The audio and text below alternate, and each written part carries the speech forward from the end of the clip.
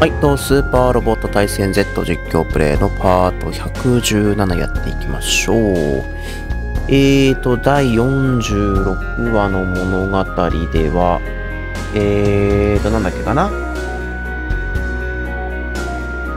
あれも一応そっか、シード関連の話になるのか。えーと、まあ、ストライクフリーダムが、まあ、参戦、参戦、まあ一応た、一応助けには来たけれどもって感じだね。結局、あの、アスランもアークエンジェル側についちゃったしっていうことで、今後、えー、彼なりのね、やり方で、えー、世界のために戦っていくつもりだと思うんだけども、ゼウスには戻らないと。えー、まあ多分ゼウスがね、デュランダルの下についてしまっている以上、えー、まあそのあたりも微妙なのかなっていうところなんでしょうね。はい。まあ次回続いて、ここから続いて第47話ということで、シナリオ見ていきましょう。編成も組んであるはず。多分大丈夫。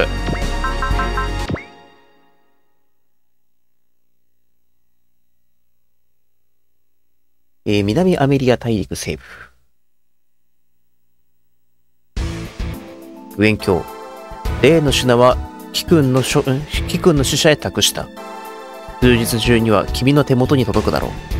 ありがとうございます。メダイユコご協力に感謝いたします。私は約束を守った。今度はキ君の番だぞ。分かっております。あなたのご息女アナ姫様の安全は私が保証いたします。あの本を何に使うかは知らぬが、過ぎた野望は身を滅ぼす。それだけは言っておくぞ。ご忠告ありがとうございます。ですが、私も自分の部というものをわきまえております。そしてこの世界で果たすべき役割というものを、私はキ君という人間を測りかねる。もしかしたら私は娘可愛さのあまりに、取り返しのつかない過ちを犯したのかもしれない。ご安心を。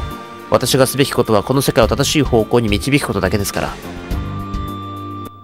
大体そういうこと言ってるやつって怖いんだよな。グラディス艦長とブライト艦長、ずっと今後のことで話をしてるみたいね。うん、でも、ザフトからの出頭勧告はうやむやになったって聞こえよ。あのラックスクラインの騒動で、プラント側はそれどころじゃないんでしょうね。今まで世界をリードしてきたデュランデル議長の初めてのスキャンダルだもの。世界中の議長ファンはショック受けたんじゃないの？でも、ここで下手な会、えー、釈明会見を開かないのが議長のうまさね。人の噂も75日。これまでの実績を盾にすれば自然に混乱は収まるかもしれないわ。ところがそうはいかないようです。何かつかぬのかい、ギャリソン。不安に駆られた市民は情報源として UN に飛びつき、その結果より一層の混乱が起きている模様です。UN の混乱ってまさかそのまさかでございます。あの黒のカリスマが現れる、現れ、様々な情報をばらまいております。そのいくつかをプリントアウトしておきました。議長の元にいるラックスクラインは、平行世界のラクスであり、もう一人の本物であるとも言えるか。こちらではオーブのラックスクラインは、全対戦の最中に作られたクローンの一人であると言っている。こっちもすごいな。DNA 制御の権威である議長は、人類を遺伝子的に支配する手段を研究中だとさ。一体何者なのだ、あの黒のカリスマなる人物は。我々を敵視するだけでなく、社会を混乱に陥れることを目的としているようだが、あの野郎、そのどさくさに紛れて世界征服を考えてるんじゃねえのか。どうやって？そりゃその悪の大軍団を作り出しただな。そんな戦力が動いたら、動いていたら、連邦軍かザフトがすぐに気づくと思うよ。トーガの疑問ももっともね。征服を考えるのなら、それなりの戦力が最終的には必要となる。でも、あの黒のカリスマは単独で動き回ってるだけみたいね。世界征服を考えるのなら、もう少しそれらしい動きを見せるだろう。じゃあ、何が目的だ？まさかただの愉快犯だったのかこれまでの奴の動きは、動きでは判断のしようがない。だが、その存在は無視できないものになりつつある。黒のカリスマ、僕たちを摘発、えー、挑発し何を企む、はい、気持ちを切り替えるし、どうやらロードジブリールは月に上がったらしいぞ。月にそうだ。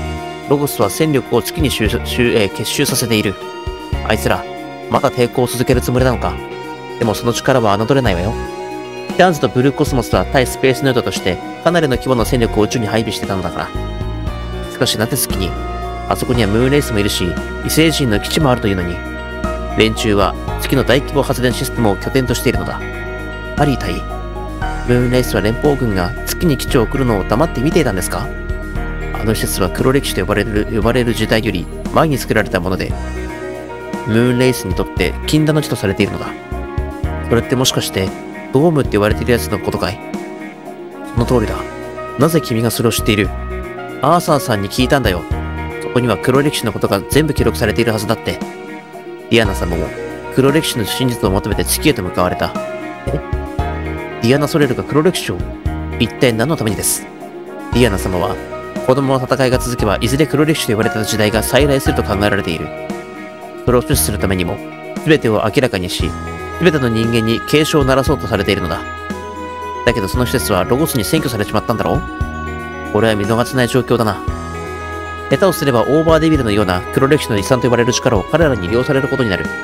それだけではない。あの施設の生み出す莫大なエネルギーは強大な力となる。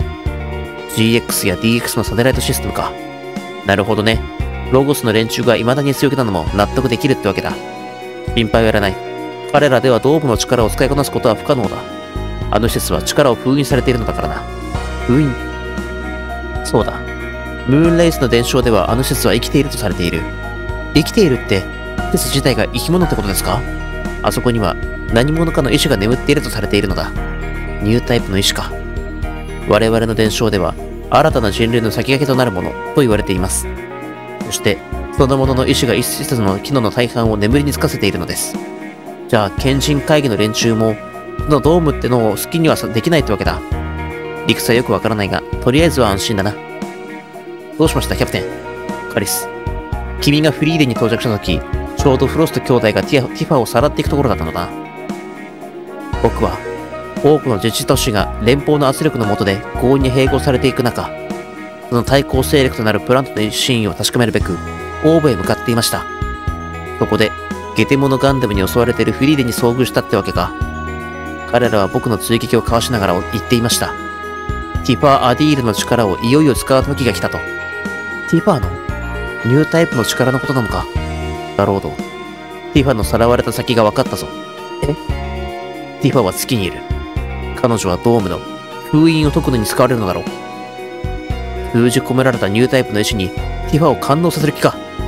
おそらく、ドンダー・イプタテのイルシルトの感能の実験もそれのテストだったのだろう。そして以前にティファはこんな夢を見たとも言っていた。いつの日か、私は月の女王と共に真実に触れる。そして蝶は未来に羽ばたくと。この話、リアナ・ソレルと黒歴史の真実に触れるという意味と似ていいでしょう。くそ。ティファーの力をそんなことに利用させてたまるか。落ち着けないよ、ガロード。ここであんたが怒っても事態は何も変わらないんだから。だけど、君の気持ちはわかるよ、ガロード。だけど、がむしゃらに戦うだけではティファーを救うことはできない。わかっている。わかってるけどよ。そして我々が戦うべき相手、考えなければならない問題はティファーのことだけではない。世界の覇権をめぐっての人類間の戦争、異星人、打天使、百鬼帝国などの外敵との戦い、さらには時空崩壊の危機。これだけの問題に対して、俺たちゼウスに何ができるか考えなくてはならないな。アミーユ君、クワトロタイはどうしているの？あのカエさんという人と会った後からずっと一人でいるみたいです。カエさんの身勝手ぶりも一年生徒の時から全然変わってないよ。自分の用事が終わってから終わったら、また取材があるからってさっさと出て行っちゃったんだから。あの人、宇宙でエウゴを取材していて、ブレックス准将が息を引き取る瞬間もそばにいたそうね。はい。その時に准将はクワトロタイ宛てにメッセージを残されたそうなんです。カエさんという方、それをタイに届けに来たのね。エウゴ上層部から正式な発表も指示もない以上、我々はこの真実を本来なら知ってはいけないようね。准将を暗殺した犯人も不明だと聞きます。どうやら宇宙の状況は僕たちが考える以上に複雑なようです。心配することはない。ザフトのザフトとの協力体制が変わらない以上、プラントは英語を支援するだろう。カミーユ、お前も議長のことを不審に思っているのか？レイ、お前はどうなんだ？あのオーブのラクスクラインのことをどう思う？どうとは？だからその、どっちが本物とか、何がお前、なんだお前まで、バカバカしい。そうやって我々を混乱させるのが敵の目的だろう。敵ね。オーブは敵。おそらく皆、そうして真偽を気にする。なかなかうがった作戦だな。だがなぜかな。なぜ人はそれを気にする本物なら全て正しくて、偽物は悪だと思うからか。え？俺はそれはどうでもいい。議長は正しい。俺はそれでいい。それよりも、俺たちが考えねばならないのはオーブの出方だ。向こうには新たなフリーダムとアスランザラがいる。あの人が生きていたってことは、メイリーも生きてるのかな？生きているとしたら、アークエンジェルに乗ってる可能性が高いわ。今後、彼らとどうなるかはわからないけど、メイリーさんのことは希望が残されている。今はそう考えましょうよ。はい。皆様、お待たせしました。クッキーが焼けましたよ。今回自信作だよ。さあ、皆さん召し上がれ。気が利くじゃねえか。ちょうど腹も減ってたしな。ありがとうございます、メイド隊の皆さん。こんな風に感謝されてしまうと私たち。テスコさん、シュランからアスタキムを発見したとの連絡が入りました。アスタキム同意。あの男、僕たちの周辺を嗅ぎ回っているのか。もしかしてあの野郎が黒のカリスマなんじゃねえのかその可能性も考えられなくはないな。だが、俺たちはヤスの顔を知っている。仮面をかぶる説明がつかないぞ。すべてはあの男を倒せばはっきりします。テスコさん、あいつと戦うなら俺たちも行きます。ありがとう、シンくん。でも、あの男とは私がこの手で決着をつけたいの。でも、フルでは危険です。では自分が同行します。何かあったらすぐに連絡入れますから、皆さんは待機をお願いします。頼むぜ、レイベンの兄ちゃん。節子姉ちゃんに何かあったら、ただじゃおかねえからな。任せといてくれ、合併くん。の誇りにかけて、節子様は守ってみせる。行きましょう、レイベン隊。気をつけてくださいね、節子様。ありがとうございます。クッキーいただいていきますね。それは、甘くて美味しいです。元気が出ました。ん？では出撃します。甘いわけはないんだな。テスコ様。こんな、レーベン隊がついてんだから心配いらねえよ。俺もクッキーもらおうぜ。なんだこりゃ。吐き出してください、エイジ様。このクッキー、塩と砂糖を間違えて作ってしまったものですから。みんなを驚かせようと思って失敗作を持ってきたんだけど、テスコさん、それをカイロも変えずにか食べた。どうなってんだよ。あの人の舌どうにかなってんのかよ。人間ではなくなっていく。あのランドという人が言っていた言葉。まさか節子の体は。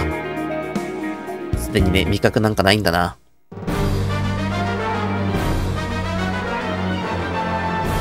第47話、カウントダウン。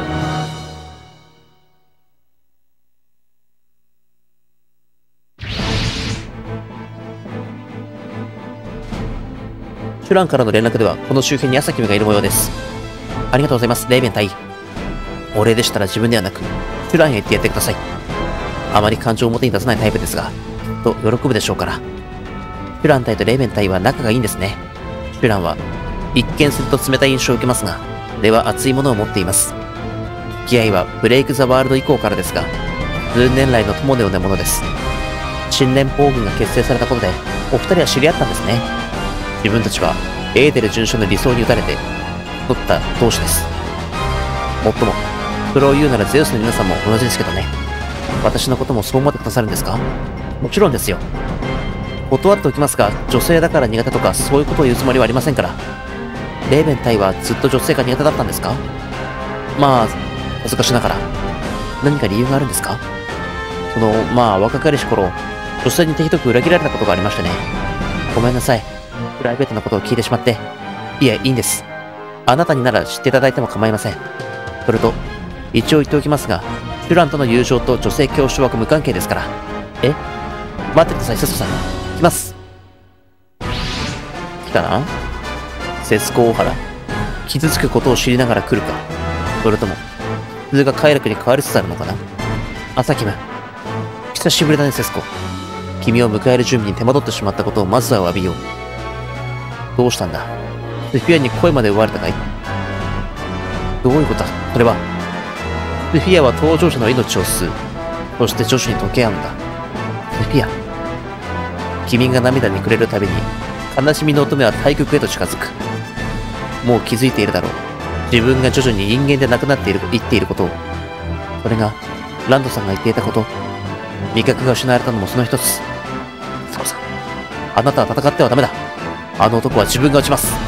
いいえ、レーベン隊。私の中で、すでに覚悟は決まってきています。我々が悲しみを力に変えるなら、私はこの命を捧げてでも、それを求めます。そしてこんな思いを誰の、他の誰かにさせないためにも、我々の力で戦います。テスコさん。その決意が君を戦わせる。だから君は悲しみの渦から這い上がりはしないのさ。溝だった。逃げるつもりなの、朝君。君の相手を進めるのは僕じゃない。君にふさわしい相手はすでに呼んである。バルゴラだと朝キム同意。あのバルゴラももどきが全ての元凶か。その通りだ、デンゼルハマー隊。あの機体に乗る者こそが僕たちをこの世界へ召喚した。自分の目的のために俺たちを時空艇に巻き込むとはよ。チーフ、トビーすでに俺たちの名前も調査済みか。安く呼ぶんじゃねえよ。グローリースターに仕掛けたに仕掛けた以上、女だからって容赦はなしだ。朝姫から全ては聞いている。お前が時空破壊現象の元凶であることはな。正確なねじ曲がったやつだぜ。俺たちが気に食わないからって、別の世界に呼びつけるとはよ。だが奴を倒せば肩がつく。俺たちのバルゴロの力を、奴に思い知らせてやるぞ。了解だ、チーフ。グローリースターの戦いを見せてやろうぜ。待ってください、二人とも。私は、あなた方とは違う世界の人間かもしれませんが、私もグローリースターなんです。栄光世界の存在はすでに俺たちも理解している。だが、俺にとっての栄光の星は、俺とトビーの二人のチームだ。グローリースターを名乗りたきゃ勝手にすればいい。だが、俺たちの敵である以上、お前は潰す。話を聞いてください。私たちが戦う理由なんてないんです。いや、あるのさ、セスコ大原。君を倒さなければ、僕たちは元の世界にも帰れないからね。山田節子さん、彼らは完全に朝キム同意の丸め込まれています。彼らに話を聞かせるためには、戦う力を奪うしかありません。でも、彼らはあなたの知る二人ではないんです。別人なんです。戦わなければ、彼らはあなたを殺すんですよ。リーフとトビーが私を。自分も戦います。あなたを守るのが自分の使命ですから。レーベン隊、手を出さないでください。節子さん、別の世界の人間でも、彼らはチーフとトビーです。だから彼らとは私が戦います。グローリースターとして。その名を使うな。栄光の星はお前ごときが背負える看板じゃねえんだ。あさきも、援護は無用だ。あの女は俺たちが叩く。グローリースターの誇りにかけたな。来いよ、もどき。途中から仕掛けてきた以上、パンデがどうのとは言わせないぜ。い。幾多の世界をさまよえば、よくある出来事。僕もそうだったよ。だが君は止められない。止められまい。心より生まれずる悲しみを。あ、エス、テスコ、溺れるんだ。君が望んだ力にね。やるぞ、トビ。グローリースター攻撃開始。了解だ、チーフ。チーフ、トビー。私はためらいを捨てます。スコさん。えーと、なるほど。これは動けないんだ。いるだけ。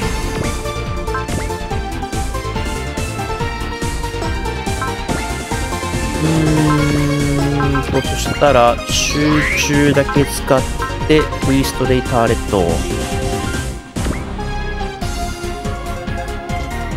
相手が誰だろうと接近戦に持ち込めば、俺が負けるはずがねえ。この戦い方、やっぱりトビーだ。だよな口を聞くな。俺はお前なんか知らねえよ。グローリースターは、俺とチーフのチームだ。たとえ、あなたとチーフの隣に私の居場所がなくても、私は負けるわけにはいかない。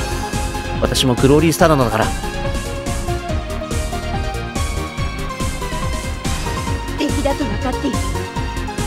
戦いづれえけどな。確かにね。撃させてみせる。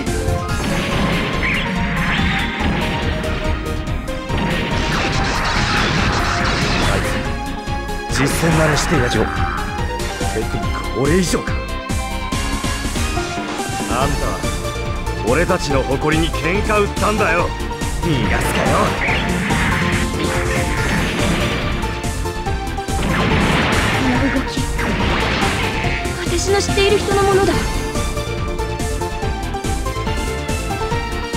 基本的にね、あんまりあのこいつら、対空得意じゃないの知ってんねよ。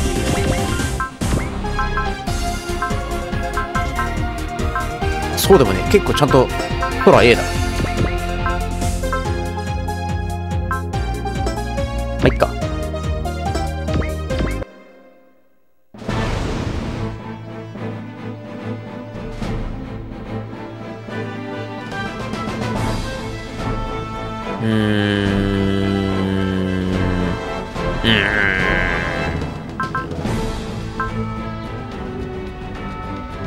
あ。簡単にしちゃった。マジか。こいつは悪い夢だぜ。トビごめんなさい。私は貴様よくも忠義をやってくれたチーフ俺をチーフと呼んでいいのはトビーだけだ。偽物め。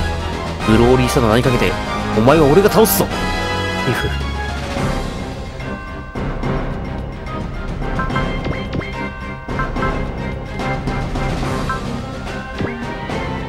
はーい。この女の射撃。俺がレクチャーしてやった時の、や、や、してやったやつ特有の癖がある。スティーフの教えてもらった戦い方と、私が今までやってきた戦い方であなたを倒します。どうやらそれなりの修羅場はくぐってきたらしいな。だが、俺たちの誇り高き栄光の星だ。場所がどこだろうと、相手が誰だろうと、負けることは許されないのだ。スティーフ、それは私も同じなんです。私も、グローリースターなのですから。こ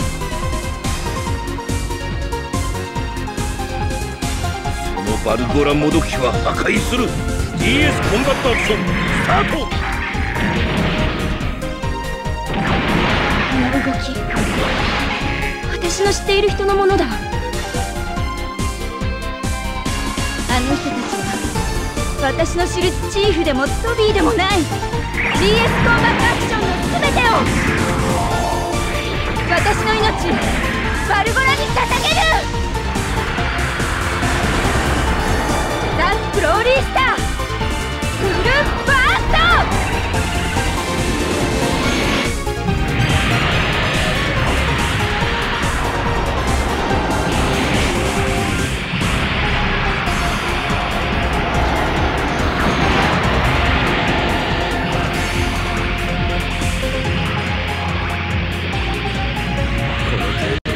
は何度も経験してきた早かったか？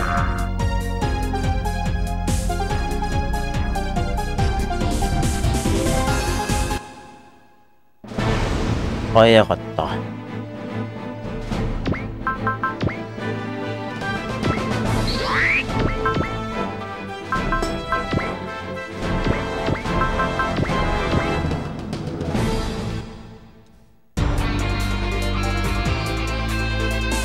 これで終わらせてもらう。あの。人たちは私の知るチーフでもトビーでもない。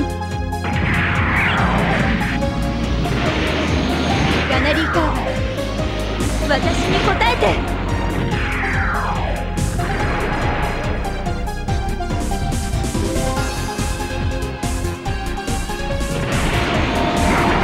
ボディが教えてくれたタイミングで。